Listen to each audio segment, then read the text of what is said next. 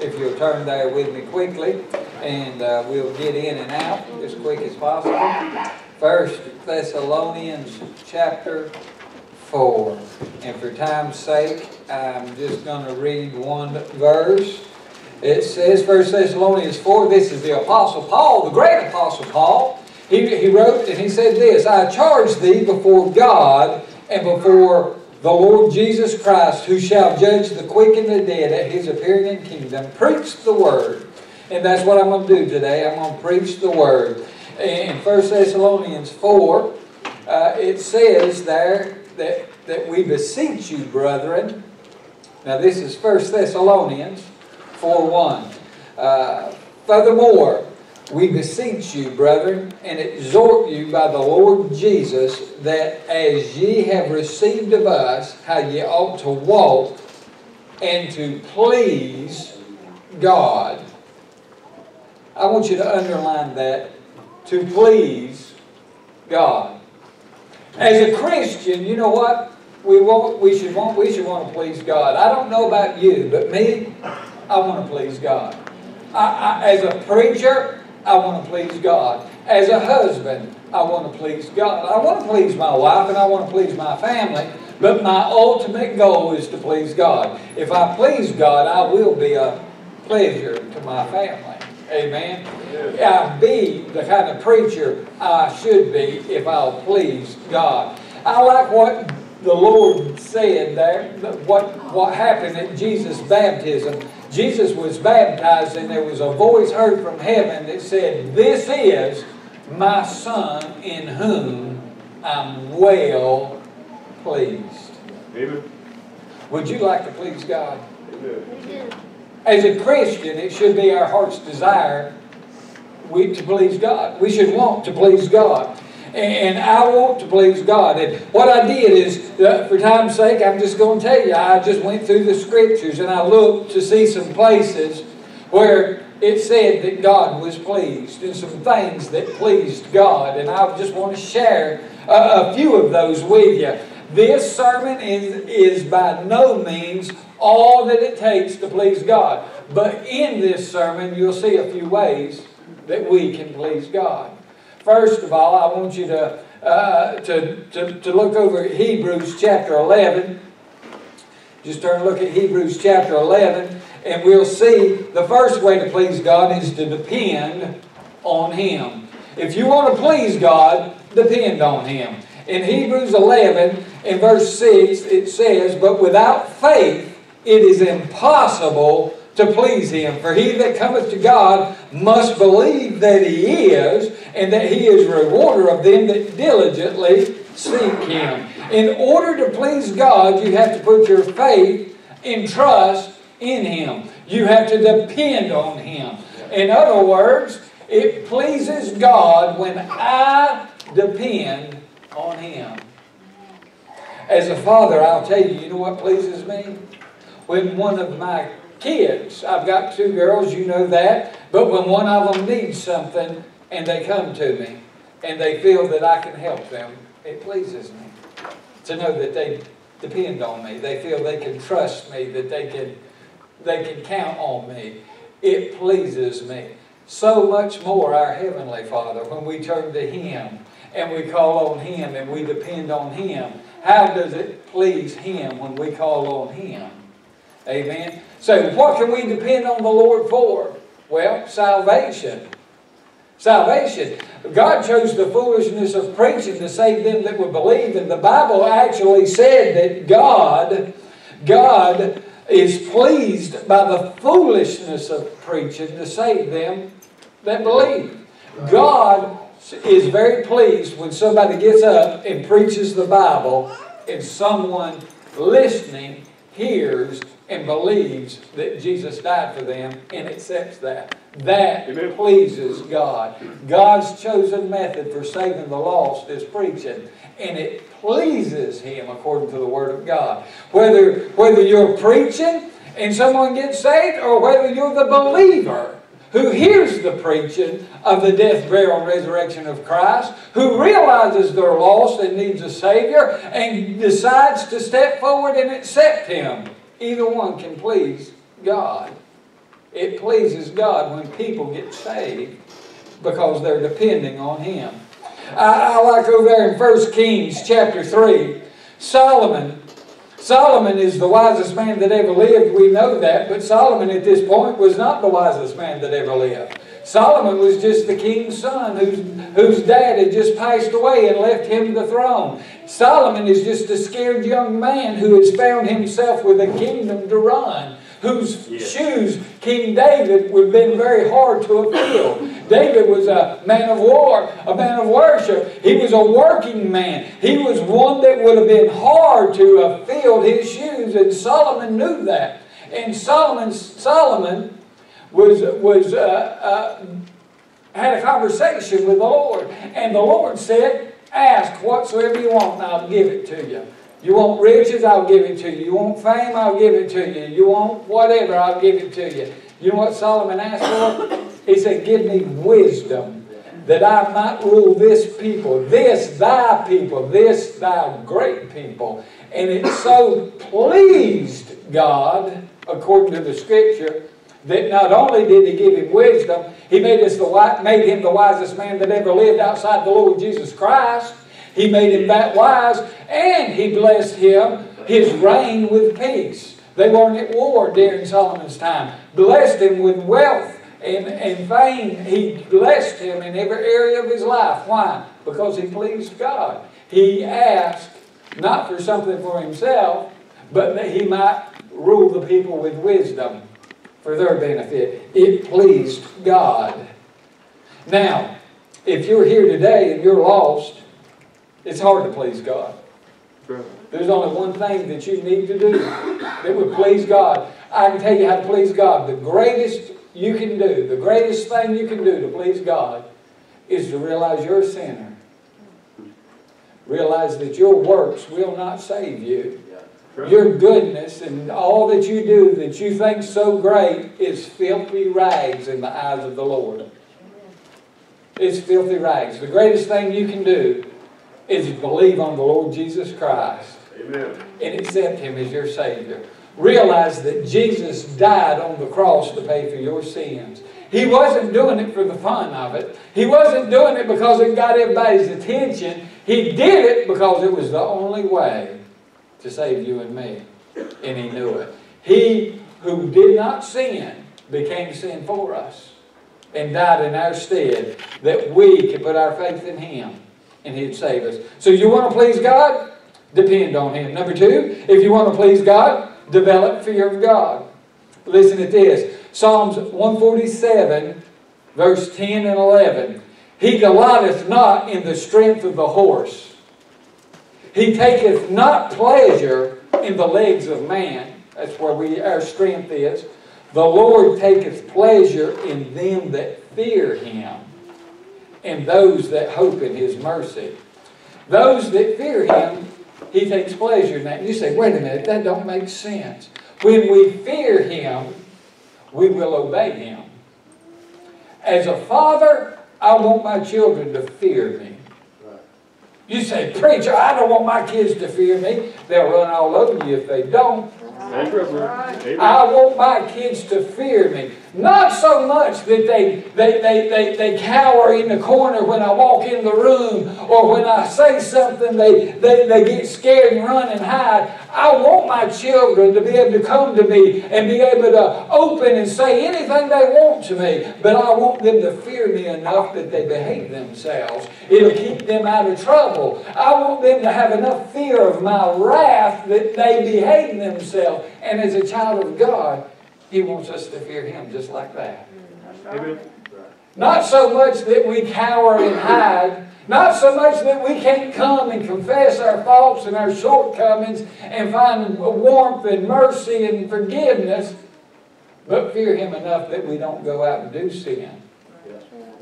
Over there in 1 Corinthians chapter 10, He's not pleased with Israel talking about when they were wandering in the wilderness. They would, they would, they would do good. Then they went into the promised land and how that God would deliver them, and then they would forget God. And they'd start doing whatever they wanted to. They had no more fear of God. and they would get off into some sin, and God would deliver them to the enemy. He had to chastise them. Why? Because without the fear of the Lord, you won't keep the commandments of the Lord. You won't do what He says. You won't obey Him unless you fear Him. You know why? You know why kids are more afraid of daddy than mama?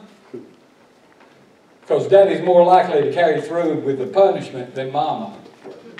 Mama will say, You quit that! You quit that! I'm going to spank you! I'm going to spank you! I'm going to spank you! You just wait till your daddy gets home. I'm going to spank you! I'm going to tell him to spank you! We're going to get the dog to spank you! You get to spank him when daddy gets home. Daddy gets home, she don't say anything to daddy. The kid gets to bed, gets up the next day. And the kid does it again. I'm going to spank you over and over and over. Finally, when mama's had enough, she'll finally spank the kid and shocks the kid. But if daddy says, boy, sit down and shut up or I'm going to spank you, the boy usually will sit down and shut up. Why? Because daddy usually don't have to ask two or three times and daddy get up and go back and spank him. That's right. They know daddy's more likely to carry through. Our Heavenly Father, He carries through.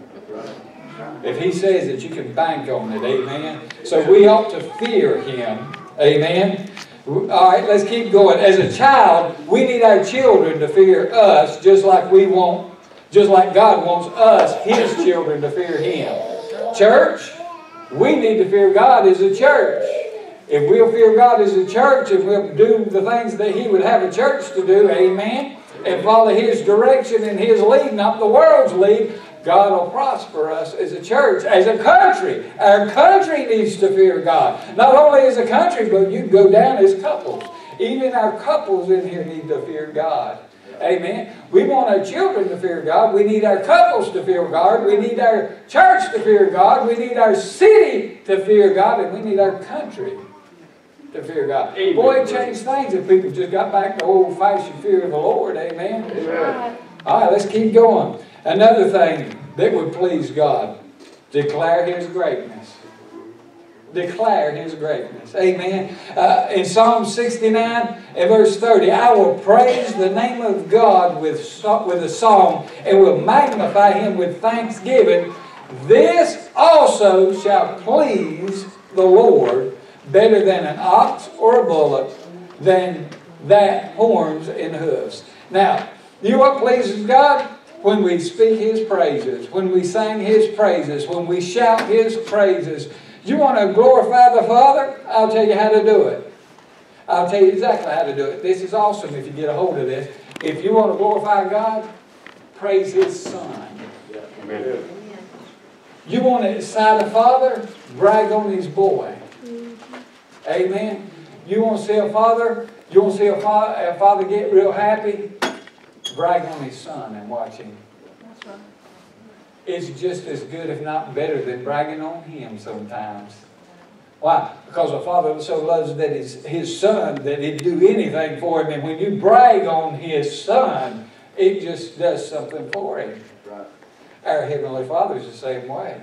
You just brag on the Lord and you exalt the Lord and you magnify the Lord and you sing His praises and you shout His praises and you soul win and tell others about how great things He hath done for you and sing His praises everywhere you go. It can make a difference. It pleases the Lord. You know, rather than rather than pleasing the Lord, most of us are complaining. Rather than praising Him and His Son, we're complaining about what He's given us or what the, the lot that we're in or the situation. Or we spend more time complaining about our lot than praising God for what we have. Reverend. Amen. We do, and we shouldn't. But here, I've got one more uh, thing. I timed for one more thing, and I'm just not sure which one it'll be. But we should declare His greatness. Amen. Uh, number next, whatever it is, dedicate yourself to Him. Not only should we depend on Him, develop fear, declare His greatness, but we should dedicate ourselves to Him. 2 Timothy 2 and verse 4. No man that warreth entangleth himself with the affairs of this life, that he may please Him who hath chosen him to be a soldier. Now, we should stay uh, away from the things of this world. We should not get so caught up in the things of this world that we can't please God. Some people get so busy, they're working two and three jobs just for toys. They don't have time to go to church. They don't feel like they got time to read their Bible. They don't have time to have family altar with their family, or they don't have time to pray together as a family. They don't have time. Why? For toys? For material things? What's keeping you from pleasing the Lord a lot of time is you're so entangled with the cares and concerns of this world. Don't let the cares and concern of this world keep you from pleasing God. Dedicate yourself to Him. Here's another one. I can give you this one. I'll close with this one. Here's one. You want to please God? Decide to obey your parents. What? Where did that come from? Uh, Colossians 3.20 Children, obey your parents in all things, for this is well pleasing unto the Lord. It didn't just say it was pleasing unto the Lord like all the other verses. It said it's well pleasing. You know what? You want to please the Lord? I'll tell you how to please the Lord. Submit to authority. Amen. Children, obey your parents.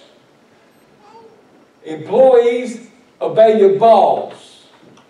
Amen? Amen. Submit to the authority that God has put in your life and it pleases God. You want God's blessings on your life? You please God and He'll bless you. There's no doubt about that. You please God, God's going to bless you. You want to please Him? I'll tell you how to do it. Submit to the authority God's put in your life, wherever it is, in whatever fashion it is. Children, obey your parents. Wives, submit to your husbands. Husbands, submit to the Lord. Amen the congregation to the pastor, uh, Sunday school class to the Sunday school teacher, employee to the boss man, all of us to the police officers and, and, and people that God's put authority over us. Submit to authority, show loyalty where loyalty is due, and be exactly what you ought to be. Amen. Just do that stuff. It's just simple. Do right. And it'll please the Lord. Because you know what? You know what will bring, bring this honor to the Lord? Disrespecting your parents, disrespecting authority, not doing what you're supposed to do. It brings dishonor. It brings dishonor. You know, it only it not only brings dishonor, but it brings shame. You've got a kid that goes out and breaks the law and does something wrong. Does it not come back to the parents and embarrass the parents? Now listen, I know and I understand there's a point when a kid gets a certain age, they're no longer the parent's responsibility. The parent can't control them after they get so big and so old. They go out and do what they do on their own, and it shouldn't reflect on the parents. But often the parents still feel the shame. The parents still carry that burden. It still crushes that parent. How much more do you think the Lord is when we call ourselves Christians and we go out and live like the devil? How much more does it bring dishonor and shame to him? I imagine the old accuser of the brother goes up there regularly and says, Hey! Look down there at old Brother Keever. That's one of yours, ain't it? Look at him. And that's one of yours. You see what he's doing? You hear what he's saying? You, you see what he watched on TV or looked at on the internet or the music you listened to or the conversation he had on the phone? You, constantly, constantly pointing out every fault of mine. Yeah. If you want to please Him, I'll tell you how to do it. Submit to the authority He's put in your life and just do right. Just do right. I don't know about you, church, but I want to please the Lord.